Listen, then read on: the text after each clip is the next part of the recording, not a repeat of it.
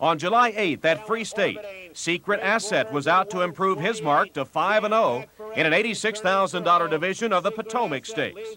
But Beach Towel pulled off the upset, winning in 56 and 4.